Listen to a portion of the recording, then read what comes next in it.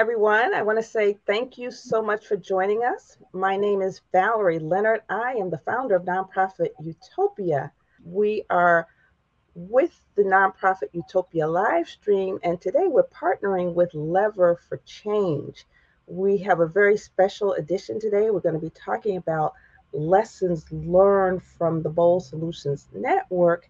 And our focus is really going beyond the competition. You know, we've heard a lot about what happens on the front end of the competition as to how we go through assessments and all of that good stuff. But today we're going to focus on, you know, what happens after the competition. We're going to be speaking with Kristen Molyneaux, who heads up the Lever for Change competitions, and then we will also hear from some of the contestants.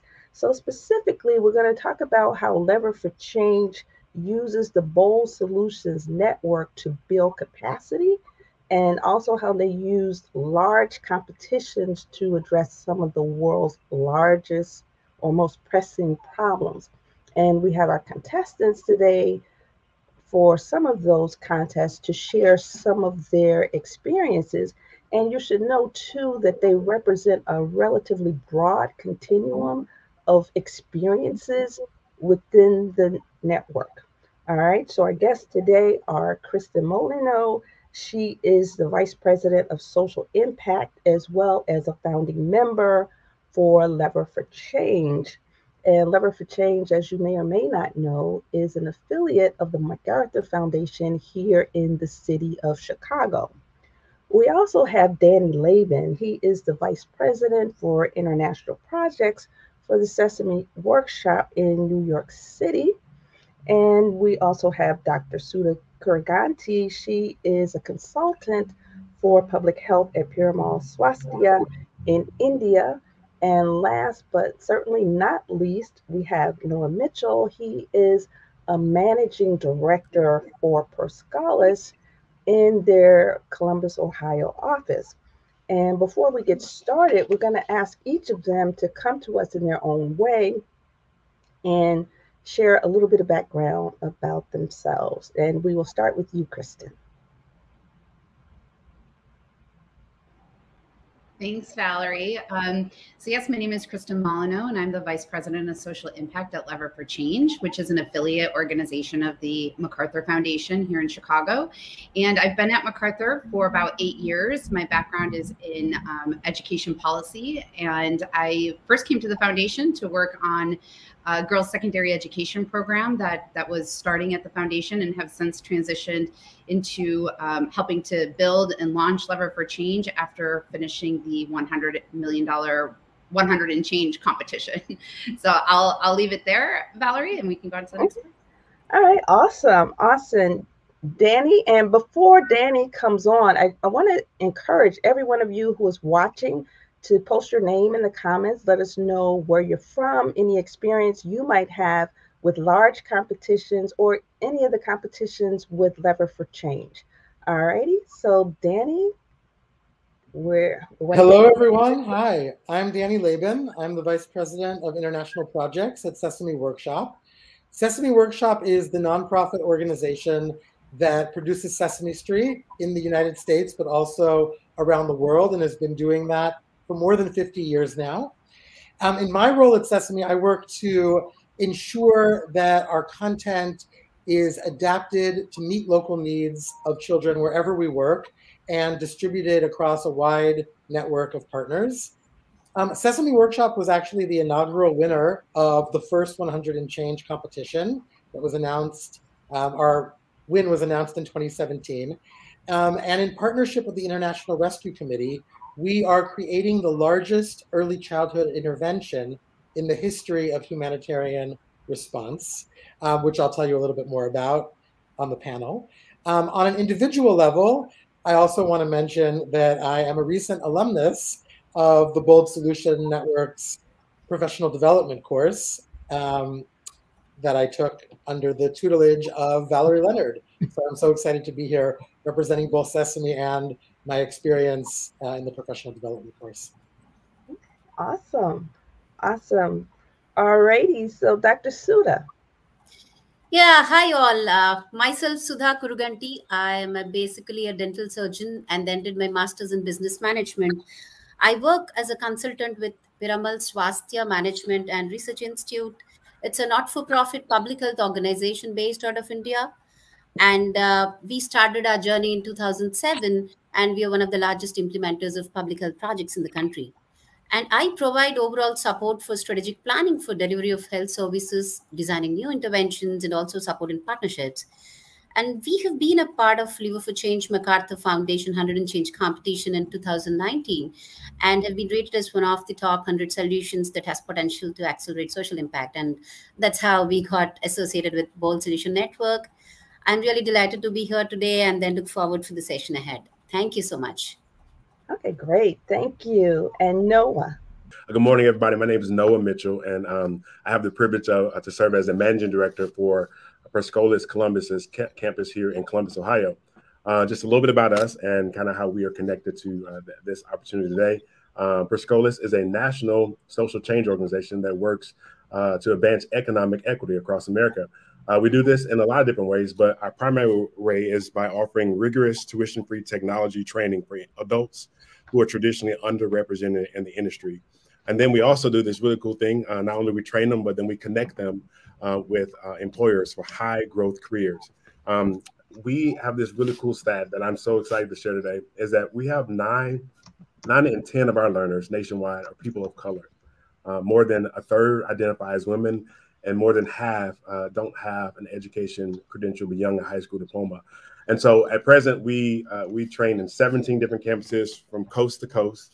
Uh, but we are, and we've done about 3,000 diverse individual trainings this year. Uh, but what we're really excited about is that we have some ambitious goals, uh, wow. and thanks in large part to Lever for Change, the Economic Opportunity Challenge, and of course, uh, the Bold, Bold Solutions Network. And so we're excited about this dialogue and, and continue that conversation today. Oh, that's awesome. Thank you so much. All right. So, Danny, let's hear about your experiences from 100 and change. Great.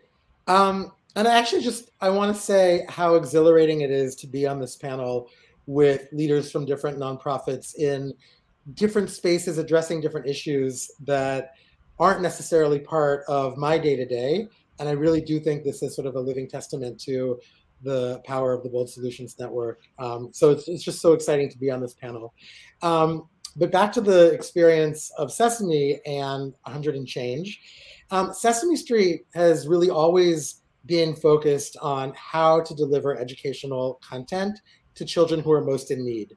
And that was really the underpinning of Sesame Street's genesis more than 50 years ago in the United States about how to help prepare young children who did not have access to preschool so that they could arrive at preschool ready to learn with their peers who had had the advantage of attending um, some form of educational setting um, prior to elementary school. And internationally, we've been working in a very similar vein. Um, we've created localized versions of Sesame Street in more than 30 countries, and each of them really addresses the local needs of children in their own context through a bespoke curriculum and original characters who all reflect the everyday reality of those children. So we've had a lot of experience in this general space around media. Um, and it was really based on that history of ours and our mission and our vision for our social impact agenda going forward that we recognized just how horrific the displacement and migration issues um, were becoming um, as a result of the ongoing crisis in Syria. And we really, really believed that Sesame Street could have a role to play in helping to prevent an entire lost generation of children, of learners who had been displaced because of the conflict. And we were certain that we wanted to address it. We weren't exactly sure how we also knew that we could not address it alone. Um, and so in 2016, at the World Humanitarian Summit that was held in Istanbul, we announced uh, a partnership with the International Rescue Committee, really believing in the complementarity of our two organizations, that Sesame would bring a media based solution that could scale and reach millions of children, but that working with a leading service provider like the IRC with a history of experience in humanitarian settings, that we would really be able to also address the needs of children in a very deep and personalized way on the ground. So we announced that partnership in 2016. It was beyond our absolute wildest dreams that there would even be such a thing as 100 and change. I don't believe the competition had even been announced, though it may have been in the minds of some people, Kristen, I don't know, um, when the idea actually sparked on your end. But we had no idea about it when we launched the partnership in 2016. Um, so here we are several years later, uh, four years actually into the program, which was funded as a five year initiative, which will now extend beyond um, with all sorts of ancillary activities that um, I'd love to talk about. But basically, um, what 100 and Change enabled was the creation of a brand new Sesame Street initiative in the Middle East called Ahlan Simsim, which means welcome sesame. And um, it's so much more than a television program, though it does have at its heart a mass media initiative, which is how we've been able to reach more than 17 million children um, across 22 countries in less than four years, um, which really, I think, is a testament to the power of mass media to deliver in that type of way. Um, it's a multi platform project, really drawing on multiple technologies, and that has been especially helpful and urgent um, over the course of the last two years when we've needed to pivot to respond to the needs of COVID 19 and needed to adjust some of our delivery mechanisms and modalities of working directly with populations, um, given the pandemic and everything that's meant for of working remotely and delivering services remotely. Um, but notwithstanding all of those changes, or in some ways, maybe because technology has allowed us to do more than we had intended, we've reached at this point um, almost half a million children through direct services in partnership with the IRC. So it's been really thrilling. It's been quite a journey. Um, I do want to take a few seconds to just introduce the characters who you might see behind me in the virtual background. These are our new Muppets. Hopefully you can see them. Yeah. Uh, yes. have, can you see them? Yes, yes, yes. Okay, great. So we have Jad and Basma and Ma'zooza, who's the goat. Um, and all three characters, along with some of the classic Sesame Street characters like Elmo and Cookie Monster and Grover, um, are part of the initiative. But really, Basma and Jad in particular are vehicles for modeling acceptance, coping, resilience, for really being spokes Muppets, if you will, for the educational curriculum, um, and really also modeling the dynamic between refugee children and the host community in ways that are, of course, child appropriate, um, and that we've been working on um, each season to refine with various advisors um, and experts um, in multiple fields that are related, from child development to psychology to early childhood education. So um, there's so much, um, but maybe I'll pause there. I know we have more questions and um, okay. more to say. Well, awesome, awesome. Yeah, one of the things that I really like about the Lever for Change con- contest is the fact that every point in the process, there's an opportunity for you to build your organizational capacity you know, from the start, you know, you, you fill out an application. The first thing you have to do is assess your capacity. And then again, at every other point, there's opportunity. We want to get a really good sense for people's experiences with large scale competitions. And we want to hear from Kristen and have her give us a little bit of background as to Lever for Change's work with large competitions. Great. Thanks, Valerie. So, I'll give a little bit of background to Lever for Change, which is an organization focused on unlocking significant philanthropic capital and accelerating positive social change around some of the world's biggest challenges. Uh, we do this through two, two key activities. One, which we've talked about previously on Nonprofit Utopia, I think with your conversations with Cecilia Conrad, which is that we run customized competitions that help donors identify organizations and projects ready for a $10 million or greater investment. Um, and for donors who want to move more quickly, because a competition can take anywhere from a year to about 18 months to go from the very beginning design phases all the way to execution and selecting award recipients.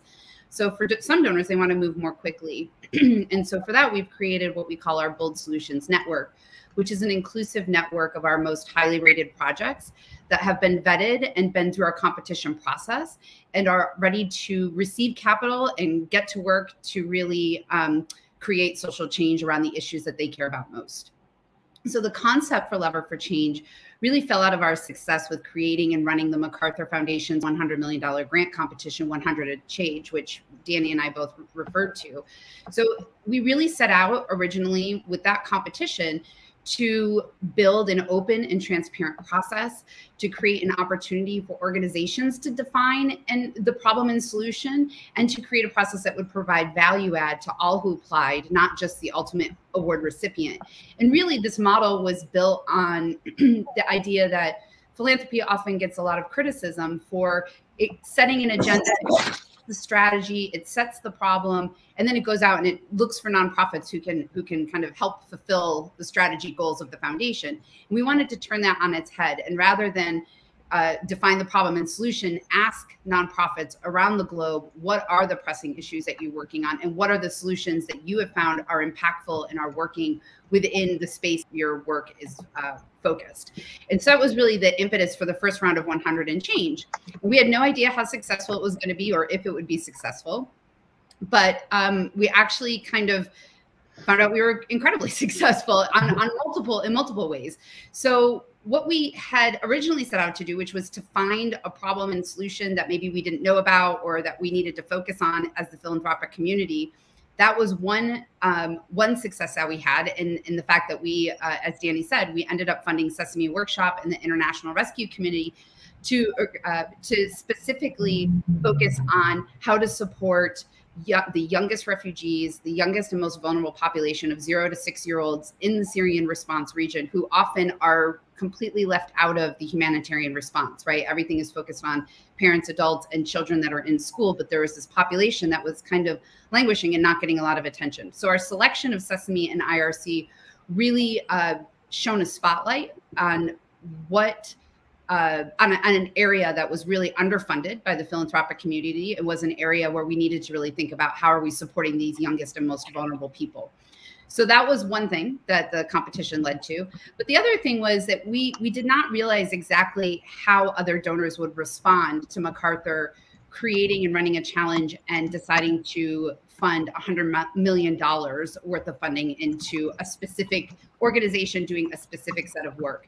So, what we ended up finding out was that it was an incredibly powerful model. So, with MacArthur's initial investment of $100 million, and then they also invested $15 million each into the other three finalists of that competition. So, in total, it was $145 million investment. With that initial investment in 2018, we actually have converted that into catalyzing over $415 million to date for the first round of 100 and change applicants. So that includes the finalists, it includes the semifinalists that were part of that competition, and it includes about the top 100 or top 200 organizations that we continue to promote and kind of get the word out about, right? Those organizations, some of those organizations re, re, uh, receive funding as well. So we catalyzed over $450 million.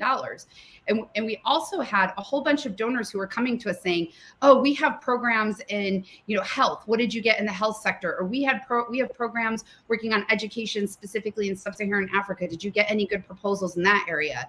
And so we started to wonder, was this a model that we could use to kind of catalyze funders to give big, but also use the data, the proposals, the work that that all these organizations did to elevate them further and to amplify their work and to take the hard work that they'd already done to participate and convert that into you know uh, into real dollars through through these different types of donors. So we were really excited about that and decided to launch Lever for Change with the mission to unlock that capital and continue to catalyze the competition model um, to build on and and uh, hopefully fund organizations over time.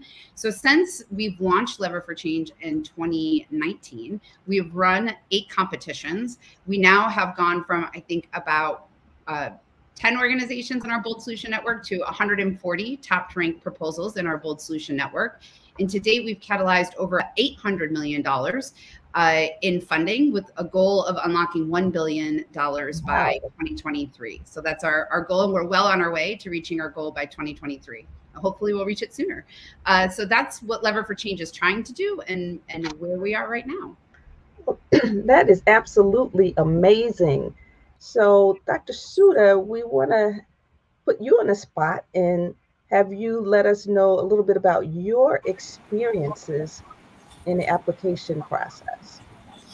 Sure. Thanks. Thanks, Valerie. Uh, just to give an overview, Swasthya implements several healthcare innovations at scale, and we have projects across 21 states in the country and uh, touched over 120 plus million people so far. And largely, we work in partnerships with governments, corporates, and many international foundations, including Bills and Melinda Gates, Rockefeller, USAID supports us in many of our programs. So the program model that we have proposed uh, to Lever for Change was uh, exclusive tribal one, a sustainable action to redefine tribal health in India, reaching to around 40 million tribal people uh, who are most vulnerable in terms of health outcomes. And many lives in the tribal are lost due to causes which are actually preventable. And that happens due to lack of availability and accessibility to basic health care. So the, propo- the proposed solution was to address both demand and supply side constraints of public health ecosystem, ensuring last mile delivery of uh, primary health care. And the idea is to transform the way tribal people seek and receive health care in India. So coming to the application part, it was a great experience making submission uh, to the 100 and change grant. And we had uh, some very, very valuable feedback on the application that we uh, you know, received from technical expert committee, the peer reviewers, the judging panel.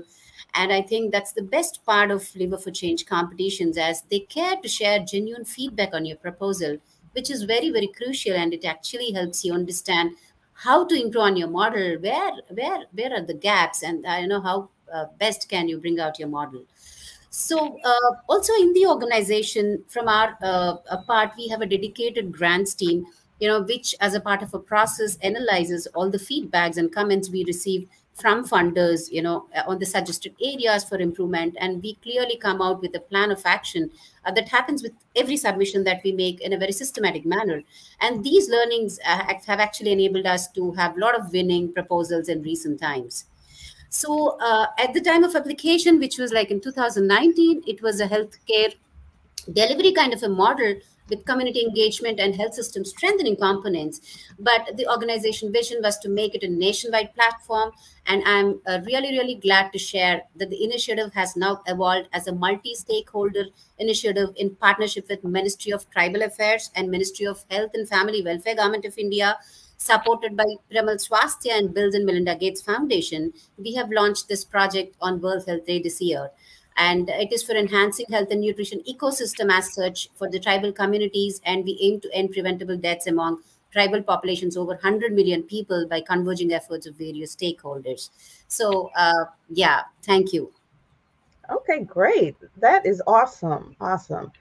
And then noah uh, Per Scholas won $10 million in the economic opportunity challenge for workforce development. Can you tell us a little bit more about your program and and the model that you used? Absolutely. Um, so uh, the the economic opportunity challenge uh, and lever for change uh, really really kind of challenge us to uh, to embrace a much more ambitious impact goal than we had mm-hmm. ever really considered in our history. Um, and it's ironic that this took place uh, in 2020 uh, while we were also uh, experiencing a, a, global pandemic. But it was really important for us because we uh, we understood that those that were that were largely impacted by the global pandemic uh, were the people that we served, uh, people of color, uh, women, uh, those who were underserved. and so, going through the economic opportunity challenge, this was really a defining moment um, that really made all of us at Per Scholas realize how important it was for us to, to, to embark upon this journey now. Um, it was ambitious, and in terms of um, what we were trying to do, um, in some ways was a little bit crazy. Um, but I think that change uh, happens sometimes in the crazy. Uh, and so we, uh, we, we decided to, to, to to do some things that were a little bit challenging. Um, mm-hmm. We actually believe here at Per Scholas that it's unacceptable that 44% of workers earn less than $15 an hour. And wow. that that percentage of low rate wage actually is even worse uh, in the communities that we serve, uh, people of color uh, and women. So going through the Economic Opportunity Challenge um, was really a defining moment for us. In regards to our um, our actual program and how we go about that, our proven pathways uh, to transformative uh, careers in tech program uh, this model is really built with the insights and learnings um, that we have, uh, external evaluations, rigorous data informed decision making, all that paired with our commitment uh, to close this uh, gap that we have in America, uh, this opportunity gap, uh, specifically the opportunity gap in technology. So our model aims to scale our training opportunities um, to 25 cities by 2025. You heard me wow. right. Wow. cities uh, by 2025. Um, and that will take us uh, to training about 10,000 individuals traditionally uh, throughout a year. So uh, we're on track to train 3,017 cities this year. Mm-hmm. Um, we are looking to increase that uh, growth exponentially uh, as we get to 2025, where we'll be in 25 cities. Now, okay, Noah, can I stop you um, for just a minute? Yeah, sure. when I heard that huge number for scale, it occurred to me that that scale may not necessarily be possible, but for Lever for Change, the, the Lever for Change Award. Is, is that oh, true? absolutely, hundred percent true. And so I think um, not only is our um, our goal bold uh, and transformative, and I think that it um, it brings about systemic change. Um, but it's it's not possible without without uh, Lever for Change and the work that we're uh, that we've gotten from from you all. And so we are um, w- we would say that it positioned us to really uh, to to be more bold and to be more mm-hmm. ambitious. And so that that's a hundred percent true value. Thank you for pointing that out. Mm-hmm. Yeah, that, that that's amazing. You know, because I think when we look at organic growth, it's typically linear, but now that you've gotten you know that injection of capital you know you're just able to do so much more so much quicker it sounds. Absolutely. Okay. All right. Did you have other comments to share? I think i think that's that's all for that one. Thank you. Okay awesome. Did any of our panelists have any questions of one another based on what you've heard so far? Any questions or comments and again, we encourage those of you who are in our audience, if you have any questions, any comments, any experiences, please post. All right, Kelly. All right. And Catherine, thank you. Thank you, ladies, for you know stopping in and letting us know what you're here to learn. You're here to learn more about. Okay, can you post that again, Emerson? Okay, she's here to learn more about the importance of increasing education across the globe. Thank you for your hard work. All right, before we transition to the next section, did anyone have any comments about, you know, the importance of increasing education across the globe based on your experiences? And you don't necessarily have to work internationally to respond.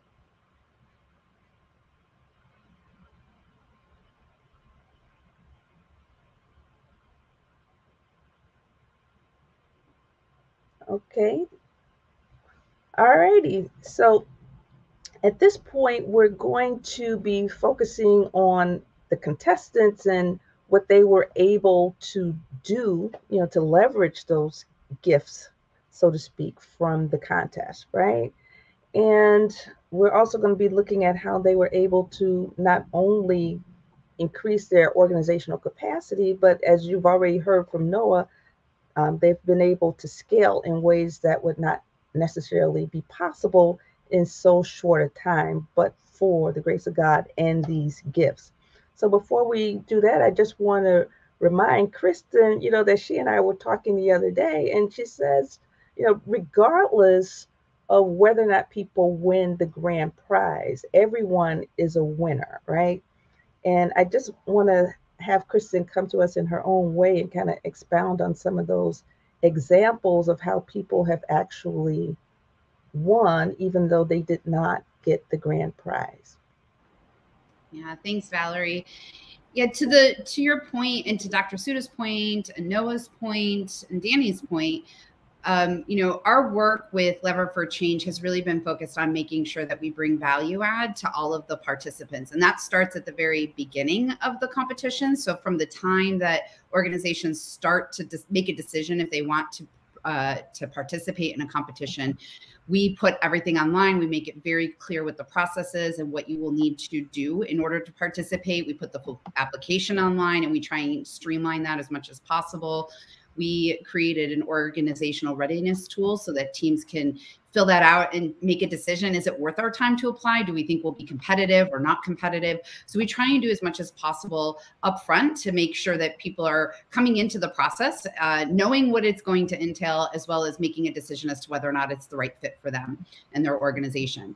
The second thing we do is, is something that Dr. Sudha pointed to, which is we ensure that every organization receives feedback in our process. So regardless of how far you go in the process, at each step you're receiving some type of feedback Sometimes it's peer feedback that's saying, here are things that I didn't understand, or here are things that could strengthen. Or sometimes it's, hey, we want to partner with you because we do similar work and we would love to reach out, you know, regardless of this competition and find ways to potentially partner together. We also use um, expert panelists and judges from around the globe who have expertise in air in specific areas of work to provide feedback on proposals. And again, sometimes it's you know asking for more clarity or probing organizations and pushing organizations to go a little bit deeper or think differently about their work. So the the feedback can range across the different competitions based on whatever criteria was set out at the beginning of the competition which is another thing we make very clear upfront. Here's what you will be judged on and what your proposal will be judged on so that organizations know how to think about putting putting their application forward in the strongest way possible. And then as organizations continue to go through our process um, and are named finalists that's where we really start to try and add as much value add as possible. We've continued to tweak our model and build our model with the feedback of all of the organizations sitting here with us today. Um, you know that feedback has helped us to continue to build a better a better process and to continue to build out how we support organizations both in the competition and beyond. So once a, an organization becomes a finalist, they receive one-on-one tailored technical support from technical advisors, uh, depending on where they're located. You know, it's either a global technical advisor or uh, a technical advisor based here in the United States. They receive uh, support to create a strong written um, proposal that they submit at the end of the process that then is evaluated by the donors and then there's an ultimate decision on who will receive funding. But also at the time that organizations become finalists that's when they become part of our bold solution network. And that is when they will initially begin to get access to all the things that we offer to the bold solution network including you know access to fundraising workshops and fundraising support or stra- strategic design or um, how do you build a contact management system right there's all different types of things that we offer to help organizations continue to grow and support them in their journey and then at the same time once they become finalists, we immediately start working to elevate their proposals to other donors in the hopes of catalyzing additional funding. And as I pointed out in the initial round of 100 and change, we had a lot of success with that. Organizations that ended up receiving, um, well, organizations that received $15 million from, from the MacArthur Foundation were able to convert that into matching grants from other foundations. Sesame uh, Workshop actually received a $100 million grant from the Lego Foundation um, as part of the, the as part of their work to expand working with refugees into other regions and other contexts, right? So organizations have been able to take those grants and convert them into additional funding.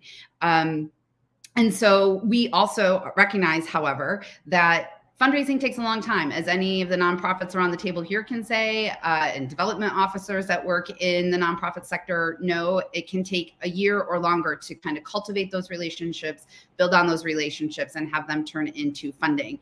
And so we have built the Bold Solution Network to really catalyze funding using the long tail of the competition um, as a way to elevate the this work, right? So work, as I said earlier, we're constantly sharing proposals. We're constantly trying to get donors interested, excited about the work of our Bold Solution Network members in the hopes that that will translate into funding, but it takes time. So we have committed to working with the Bold Solution Network members for two years at a minimum. And in some cases, we likely will continue that relationship because we want to continue to have a pool of organizations ready to absorb this capital, ready to go out and hit the ground running if a donor comes to us and says, we're ready to commit significant resources to help move this social change forward. So that's how we continue to support the organizations. And I think probably the, the teams around the table can better better speak to whether or not that's been helpful, useful, and, and in what ways that has come to fruition within their own organizations. Oh, that's awesome. And before we bring on Dr. Sudha, I am just curious. I want to make sure I heard right. Sesame Workshop won $100 million mm-hmm. originally, right, through the 100 and change. And then they leveraged it with another $100 million. Did I, did I hear that right? Yes. So we, you know, part of part of what we we this was part of the success of the first round of 100 and change where we received uh, a call from Lego saying we're interested. You know, we are inspired by what MacArthur is doing. Our board also wants to be giving bigger than what we're doing. This has inspired them to move and to move quickly. You know, we're thinking about giving a matching $100 million gift. We have a long-standing relationship with Sesame, but what did you learn about about this work through the process? Is there information you can share? Is there any due diligence? Is there, you know, what, what kind of insights do you have on the team and the work um, in this refugee context, which we as an organization have been wanting to move into that space, but we're we've been a little bit uncertain about how to best do it. So we had some of those background conversations at the same time that Sesame was also having conversations with Lego.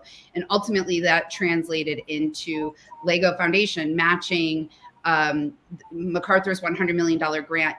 it, it's th- that grant was to support some additional work in the Syrian response region that the MacArthur Foundation's initial $100 million grant went to mm-hmm. fund and then also to expand their work into uh, Bangladesh, supporting the Rohingya population um, with a similar model, but with a different partner instead of with IRC working with BRAC. So um, it was exciting because part of what we were hoping with that initial $100 million commitment is that we would shine a, shine a spotlight on an area that was considerably under resourced. Um, I think at the time, there was there was less than 2% of humanitarian funding that was going to education and it was like less than 1.1% of that. Danny might have the numbers off the top of his head. It's been a couple years now, but um, it was going to support the earliest years, right? It was all going to kind of primary school, secondary school age kids. So it was a real opportunity for us to shine a spotlight on that. And Lego Foundation said, yes, we're in. We also want to shine a spotlight on this, but we want to take this model and see if it can be replicated and adapted to a different context. And so that's how that funding kind of came to fruition over time. Okay, awesome, awesome. So with that, Danny, can you give us some insight? You know, what it's like to be on the receiving end of a hundred million dollars at another hundred million dollars. Sure. Um, and I think really, you know, in addition to that additional $100 million helping to expand the work in the Middle East and to address the refugee crisis um, in Bangladesh with those who've, uh, the Rohingya population who migrated from Myanmar, um, both of which you mentioned, Kristen. But I also think what that additional $100 million did speaks a lot to the comment um, that one of the viewers mentioned in the chat box around sort of the need for global education everywhere. Because I think really the ultimate objective for us of this mega grant combined with another mega grant was trying and still is trying because we're we're still deep in it um, to create a model for the delivery of early childhood development and education in humanitarian settings, irrespective of the specific crisis or conflict setting. Um, and that doesn't mean that we are not taking into account the specifics of the conflict and crisis setting, because those are obviously very important in terms of how they impact children. Mm-hmm. But to create a model that is able to be deployed very quickly um, in current and then future settings and crises for children. Um, and, you know, it doesn't take more than looking at um, any daily website of the news to understand that these crises um, come fast and furious. So um, we're really looking at being able to have that agility. And I think um, that's really sort of the crux of what we're driving toward now is what are those models and how do we use them um, to, to impact children everywhere who are affected by conflict and crisis. Um, so that's um, sort of a, a, mega goal of these mm-hmm. mega projects. Um, I also do want to, you know, Kristen, you've mentioned a few times this notion of shining a spotlight on the issue. And that, in some ways, um, has both tangible and intangible elements. Um, we really have been using the work that we're doing to help highlight the need for education for young children um, and really using it to advance the issue, um, no less, in some ways, even more than the work itself. Um, and we've been able to sort of mobilize attention around this issue in global forums like the Global Refugee um, Forum just before the onset of COVID, um, where we really shined that spotlight on the needs of ECD in humanitarian work. Um, and we're working with various UN agencies and through different coalitions of NGOs in the space to really be leaders and to use the Muppets as trusted vehicles, not just for children, of course, but also for adults. Because um, we found that the Muppet characters, Basma, Jad, Ma'zooza, and all their friends, are really able to bring to people's attention tough topics that um, might be sensitive or controversial, but when they're delivered carefully through um, a Muppet, um, they they resonate in a different way and sometimes cut through some of the resistance. So you know we've been really experimenting with how we're uniquely leveraged to do that um, in different ways. Okay, awesome, awesome. All right, Dr. Sudha, you have been working with some of the partners within the Bold Solutions Network, you know, one of which is nonprofit Utopia, but you've also have taken advantage of some other consulting opportunities to help strengthen capacity. So can you give us a little bit of, um, give us some of your, I guess, impressions, share some of your experiences with some of that work and how it's been helpful in terms of you know building capacity for you. Certainly. Thank you. Thank you valerie. Yeah as uh, kristen was rightly mentioning funding is only one part of the competition. As a part of bsn member we could access several of opportunities. And thanks to lever for change again uh, we over a year engagement or with some we still continue to have uh, with many impact partners like Sattva consulting in india not for profit utopia with you valerie and then imago Catchafire platform you know just to name a few Mm-hmm. Uh, with Sattva Consulting, we had customized uh, one-on-one advisory support, wherein we identified certain priority areas as per organization requirement. You know where we needed some improvement, and then they supported us uh, in in areas like partnership strategy, fundraising, and also they held uh, several capacity building workshops for our teams along with other cohorts uh, in communication, uh, branding, social media, you know, and many more. And with Valerie Not for Profit, it was an awesome experience. Not to flatter you, Valerie, but uh, you did great building workshops uh, for many of our team members, and uh, it was a deep dive in areas like community needs assessment and theory of change, proposal writing, evaluation planning and models of collaboration wherein you know all these things greatly helped us build organization capacities and strengthen our models and uh, believe me you know putting in an entire story in 100 or 200 words in an application is just not an easy job it's a great app and we're still learning it uh, so we still reach out to Valerie uh, after her stipulated time of you know these capacity building workshops and with our requirement, and she's so kind to oblige them every time we approach. And I must say, this is the kind of people and organizations LFC has connected us with. Thank you so very much. Oh, thank you. It's always a pleasure working with you guys. And Noah, um, one of the things that I find to be most challenging, and I think that many other organizations find to be challenging, especially when you're working on large projects, is putting together a cohesive collaborative, right, where there's accountability. There, you're looking for um, people who are compatible and all of that good stuff. But then there's also the project management component. So we'd be really, really interested in hearing how you guys at Per Scholas, you know, went about, you know, selecting your team, holding them accountable, and then you also are using those same people to build scale. And I can imagine it's even more challenging keeping the project on track, but you guys are slated to meet your goals, if not on time, then ahead of time. So we'd love to hear how you guys are doing that.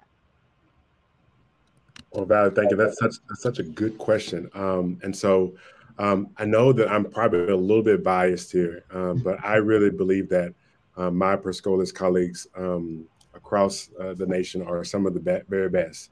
Uh, they are tenaciously committed uh, to equity and making uh, real change, and so that that makes the job in and of itself a little bit um, a little bit easier.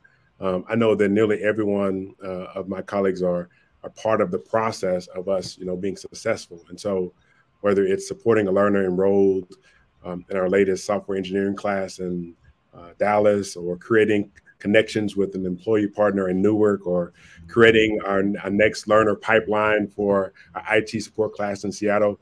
Uh, we really believe that collaboration and working together is one of the keys to our success. So with that, that really helps us to, to really process what it looks like for us to come together and, and come up with a plan for how we uh, how we go about this. We don't think that we're doing this work single handedly. It's not in isolation. It's not mm-hmm. um, even uh, based on our specific campuses, but we're doing this work together. Um, we, we, as we, so as, as we built this model, we're building this out. We uh, we also knew that we needed to have some partners that were external that were be helping us to really process how we go about that. And so some of those partners have included uh, MDRC uh, and the financial clinic. Uh, they, they have been uh, really key to, key to our long-term success. Um, we we believe that as we're processing this, we've been, been able to come up with a uh, a strategic strategy that kind of helps us to do some of those things that you uh, that you talked about, uh, Valerie. Uh, first is that we uh, we want to grow uh, our enrollment to more than five thousand learners a year while continuing to achieve our national standards. And this is the key. It's not just about the growth, but it's also maintaining the quality of what we're doing. So we still mm-hmm. believe that we should be graduating 85% of those learners. So it's not just about putting people through the pipeline, but it's about making sure that we're equipping them to be successful and to finish what they started. Uh, and then also uh, placing 80% of those into jobs so that they are not just having um, a living wage, but a thriving wage uh, within the career. So that is that's first and foremost for us. The second is um, making sure that we are combining our services uh, with the financial clinics, uh, evidence-based um, financial mobility strategies, and so connecting them to make sure that not not only are we uh, are we helping people to get uh, careers, but then we're also helping them to process what to do with that, uh, with those with those with those finances, and, how to live a thriving life. Um, and third, we are expanding our existing partnerships with MDRC to use data science to target our work to effectively uh, make sure that we're generating a knowledge base um, plans of actions to, to really impact our field of IT. So we, we really are, are committed to those things. Um, I would say that we have identified uh, an achievable level of scale uh, that can benefit um, the economic development of our entire uh, cities, our regions, and, and we, we really think we can even uh, impact uh, our whole nation. Um, this is important. It's important work that we're mm-hmm. doing. Um, it's important, especially as we're even embarking upon this during the pandemic, because as I mentioned earlier, we know that the pandemic um, impacted uh, people of color uh, and women uh, in a way that is is really uh, really powerful, and we we want to be part of that solution. Uh, we also uh, will be participating in a thing called strengthening the executive team. Uh, which is a Bridgespan leadership accelerator program uh, that is offered through LFC. And we'll be doing that starting this spring. The reason why we're doing that, and this actually really, really speaks to the heart of your question too, uh, is that we we just believe that as you are leading uh, a scaling organization, this really, really requires that you uh, that you build out your leadership both nationally and locally. And so we want to make sure that we're investing in our people and making sure that they uh, they have the skills that they need as we're building out uh, in scaling this organization in a way that we've never done before. Um, we really believe that with our commitment to this um, and uh, our, our, commitment to this project and our aligned goals, uh, that we can stay accountable to one another. Uh, we, we've set up those those um, those infrastructures to make sure that's happening. Um, we also believe in effective project management, consistent meet, consistent meetings, team calls, and more. So we we have a multifaceted way that, that we that we try to go about making sure that everybody has what they need to be successful, and then we're holding people accountable to uh, for this important work. Okay, excellent. We have all of five minutes left in our regularly scheduled time. And Kristen, I know you have a hard stop at five. I'm, I'm sorry, in five minutes. So we have. I want to start with you. Um, are there any lessons learned that you'd like to share? Uh, so many lessons learned. Um, I think we've we've learned a lot since we've run our first 100 and change competition, and even a lot from since we ran the um, Economic Opportunity Challenge. And thanks to Noah and his team and the other finalists for giving us feedback and telling us what worked and what didn't about the mm-hmm. process. So we've continued to refine what we what we offer to organizations, how we support them during the finalist process, what we ask of them to do in the competition process in order to make sure that what we're asking aligns both with what the donor needs, but also is not overburdening the organizations that are going through the process. Um, we have tried to start instituting um, planning grants to support organizations who are going through the process so that they are supported financially and recognizing that they all have day jobs right? So they're going through this process in order to to um, you know be a finalist in a competition and they need to work on their proposal. But at the same time they're still trying to do all this amazing work that that everybody on this call has been talking about. We don't want to take away from that um, too much right? So so we've we've we've definitely been continuing to build and hone the process streamline our processes in order to make it more you know just more value additive less of a burden and and make sure that we're helping to amplify organizations. And also lever for change has been building since this all started right? Um, i think in the economic opportunity challenge we were probably about a staff of five or six people and we've grown to almost 20 now so wow. you know with all of those additional people you know to noah's point we're continuing to build our own internal capacity build different you know get different perspectives different ideas on how we can continue to do things and and be a stronger organization to support all these organizations so a lot of learnings and it's been a really exciting journey and we we thank all of the organizations that have uh, on this call that have been through it with us and provided feedback and honest feedback which is you know often difficult for organizations to feel it open to doing but we've really appreciated that feedback and you know just continuing to try and improve what we're doing and what we're offering Okay. And before you go, what's next and how can people contact you? Great. So what's next is my uh, my fantastic staff has been working to really build on what we've been offering over the last couple of years. So we will have some continued themes of offerings that we've done previously and that have been um, really popular. So specifically, how to effectively market your projects and your missions and your organization, support with um, I'm sorry, uh, stuff that we've done before is like continued with diversity, equity, and inclusion, mm-hmm. continued leadership development and leadership cultivation up, uh, uh, support and then continued organizational strategy. Some things that we're going to offer that are new in the upcoming years, I reversed those, so I apologize, That's is okay. that we're going to be um, offering some things on effectively marketing members' missions and their projects and their teams in ways that are compelling um, support for monitoring and evaluation. We've heard from a lot of organizations that that's an area where they could use some additional support and, and help. And then also financial capitalization and planning. So again, for organizations who now have, have a big influx of money, like Per Scholas is $10 million, how do you take that? How do you continue to capitalize on it? How do you plan? How are you thinking about fundraising long-term while you have that funding? because we've heard from organizations the donors will say oh you just got $10 million do you really need additional funding right so how do you kind of take that and, and use it as a leverage point as opposed to it, it being uh, a detriment to your fundraising strategy and then we also want to continue to highlight and strengthen the connections between our network members. So we will do targeted engagement. We have some collaborative opportunities available through a small grant fund, which is our SWIFT grants.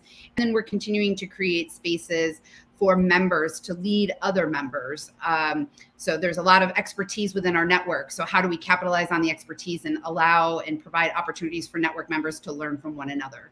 So that's what's on the horizon, and um, it's a lot of good stuff, and we're really excited to kick off 2022. All right, awesome, awesome. Thank you so much for joining us. I, I know you got a hard stop and you got another meeting to go to. All righty. So, Danny, let's hear from you. What are some of yeah, what are some of the learnings that you've had, some of the lessons learned, as well as what advice might you give to other people who want to quote unquote do this at home? Great. Um, well, it was great to hear from Kristen that the process is being streamlined in um, some ways. It is not for the faint of heart. Um, there, it's a very um, involved process with a lot of support along the way, but we were so deeply engaged in various steps of the competition that stretched out for almost a year. Um, that said, I would encourage any organization that has the internal bandwidth and has the conviction in the issue that they're addressing to submit and apply and compete because the exposure both for the organization as well as for the issue itself is absolutely invaluable. Um, and you know not to mention of course the the value that it could have if one is the winner but really the, the sort of invaluable um, exposure that comes with it. Um, exposure on every level and also you know to everything else that lever for change offers um, those who are part of the the network, um, if you will.